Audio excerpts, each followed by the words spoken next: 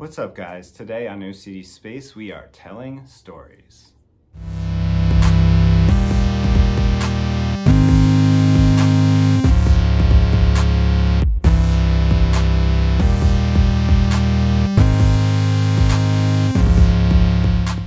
What's up, guys? Welcome back to OCD Space, your place for all things OCD. And I am Mike Parker at the Center for OCD and Anxiety in Pittsburgh, PA. And today we're going to be talking about storytelling, a critical element of OCD.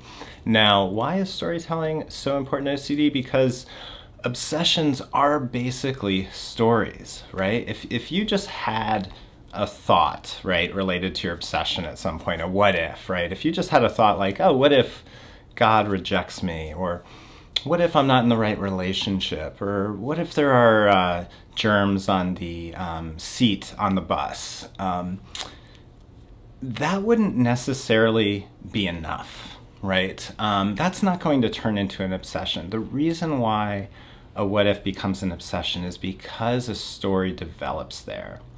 And that story has a lot of elements. For the uh, I'd say the first part of the story is just you feeling vulnerable to something. And so you feel particularly vulnerable to, um, you know, maybe losing control or being impulsive or doing something bad.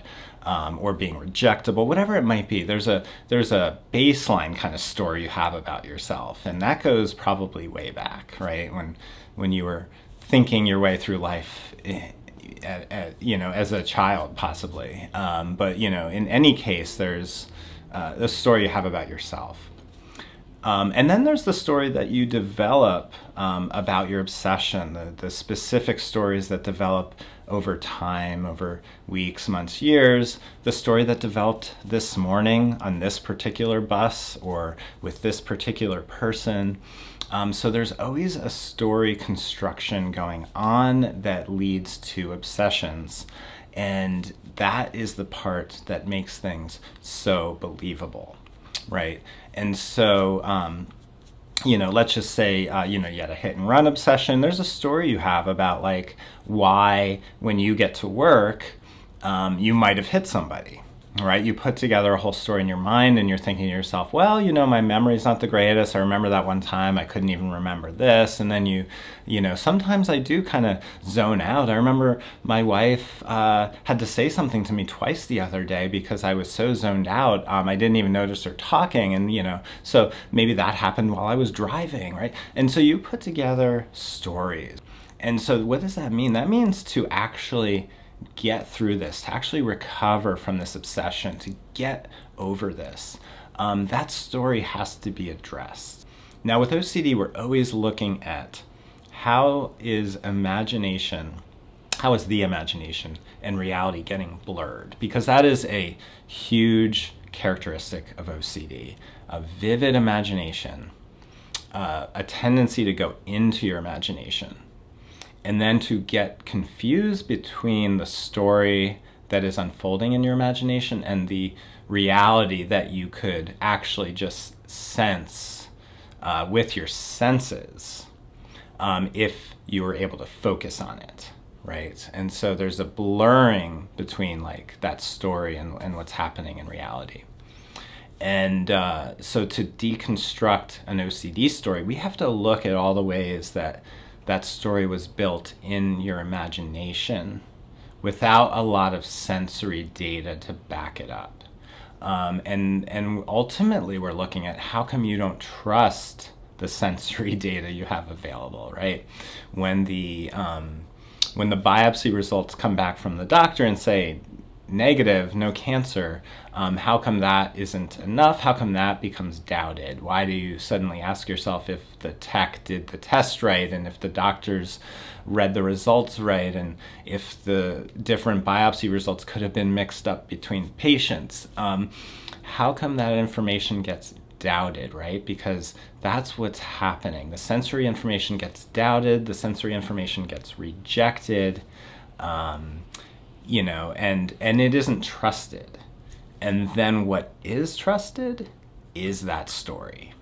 That story becomes so real to you that it supersedes any evidence against it.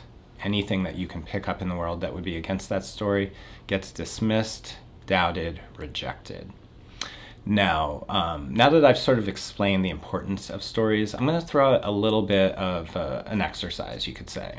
So, one thing to try when you get the chance is telling yourself an alternate story. And so, to do this uh, effectively, what you want to try and do is tell yourself an alternate story if your senses could be trusted, if the information you have available was enough, if the information you've received, you could believe it. What would be kind of an alternate version of this story? So, you know, when you go on the bus and you're worried that it's contaminated and you're thinking about the existence of germs and you're thinking about all the uh, people that could have been in that seat before you, um, what if you could trust the fact that you don't see anything? Um, nothing is noticeable, nothing is visible. Nobody has told you there's contamination. Nobody has uh, informed you not to sit on this seat. There is absolutely no information that is directly pointing to uh, the surface you are coming into contact with being dangerous. There's a lack of information but that lack of information is still information. There, you have received no information that you are in danger. What if that could be trusted? What if the available information could be trusted and you could go about your life living that way? Because let's face it, your senses, they're not perfect, right?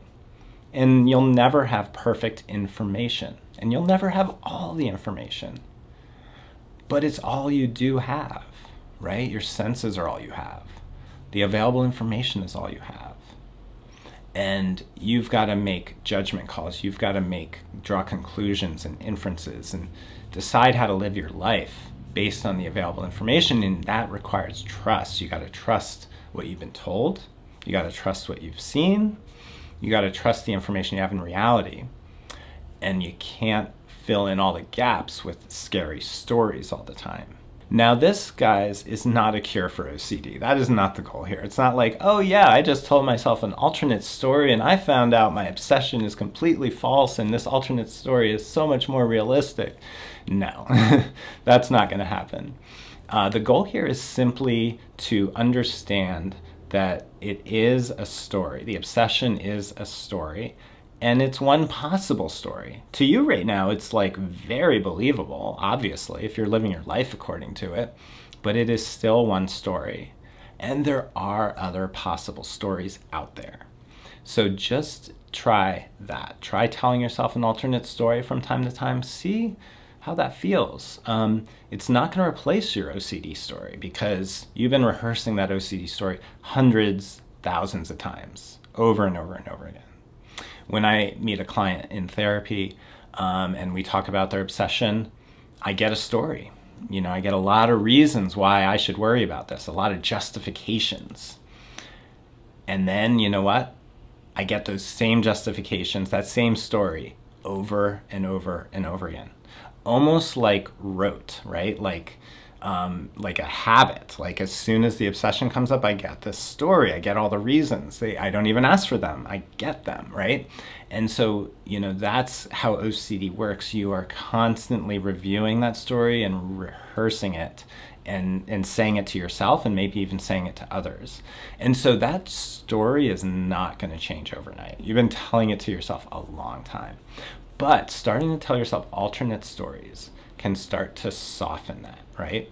And then eventually you're going to get to the point where you've rehearsed other possibilities just as much as the OCD story. And that's, you know, when you start to see, I don't have to live my life according to this one what if anymore. All right, guys. Well, I hope this has been helpful.